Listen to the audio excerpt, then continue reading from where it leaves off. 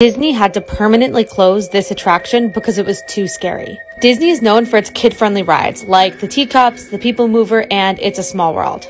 Although that one is a little creepy. And while it has some scarier rides, nothing compared to this one.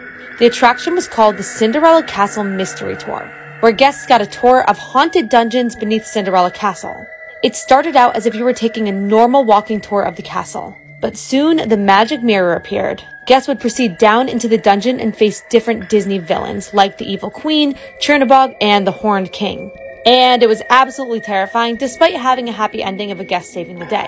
The attraction terrified guests so much that Tokyo Disneyland had to permanently close it.